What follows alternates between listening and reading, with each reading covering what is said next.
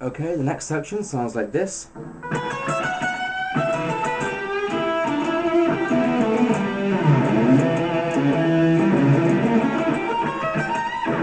Okay, and first of all, we're going to go 12 14 on the B and then 12 14 on the high E. Okay? And then we'll bend up kind of, I think it's a half tone on the um, high E, or maybe between a half tone and a full tone, get slightly major sound.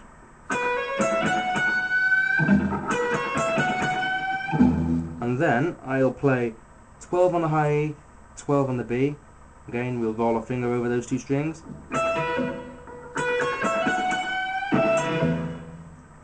And then I'll play 14 on the G, 12 on the B. And then 12 on the G string, but slightly bent up, okay?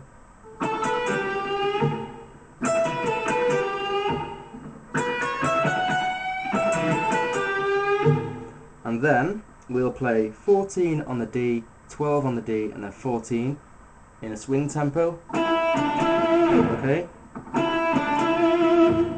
With a bit of vibrato on the 14th fret at the end.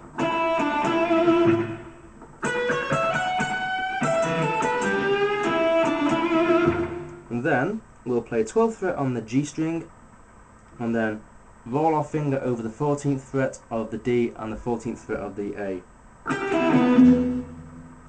Okay? And then I'll go 12 on the A, 14 on the A, and then 10 on the A.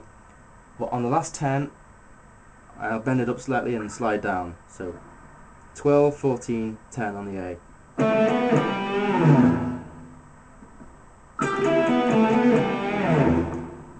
So all together for that part.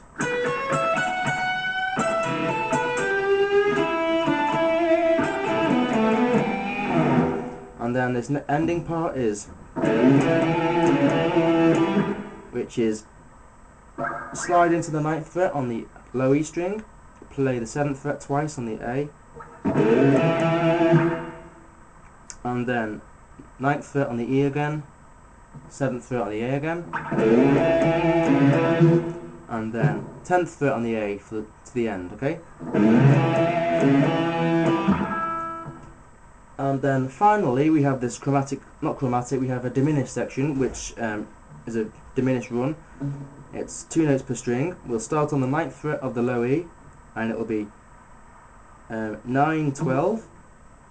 Okay, but every, um, for the first four strings that we go up on the guitar, the first four strings, um, after the E you do the same pattern but you just move your finger up one fret.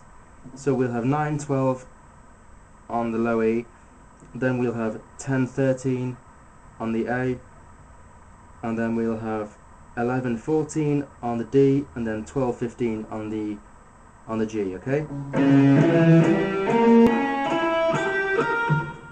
So the same gap between each fret on each string, but you move your finger up one fret each time. So we start on the ninth fret on the E, start on the tenth fret on the A, and so, as I said, 9, 12 on the E, 10, 13 on the A, 11, 14 on the D, and 12, 15 on the G. And then, uh, when we get to the B string, we'll move up two frets, and we'll do 14, 17, and then 15, 18 on the high E, and I bend up slightly and slide down.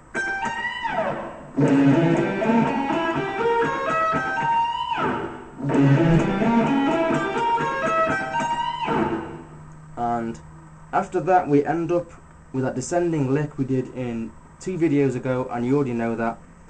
And